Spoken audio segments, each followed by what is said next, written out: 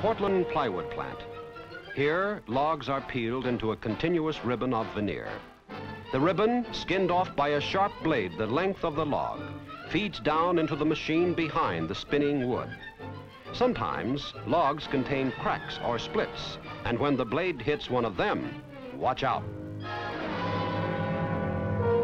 A lot of expensive wood has been wasted. Some mills use iron dogs to hold a cracked log together, but then you can't peel beyond the metal obstruction. Only this much wood is utilized. Now along comes a new solution. With this machine, plastic wedges are driven into the ends of cracked logs to serve the same purpose as the metal dogs.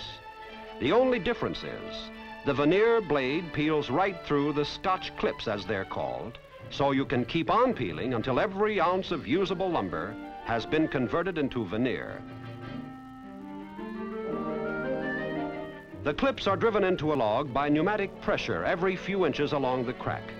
Don't ask us how plastic wedges can hold a log together, but they do. Manufactured by Columbia Basin Plastics Company, they're getting a big play in plywood plants everywhere.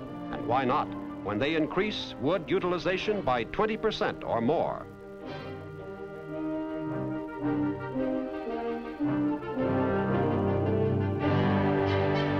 Plastic has performed some wonderful jobs in the past few years, and now in the simplest form imaginable, it's giving a big boost to the program of conserving one of our most valuable natural resources.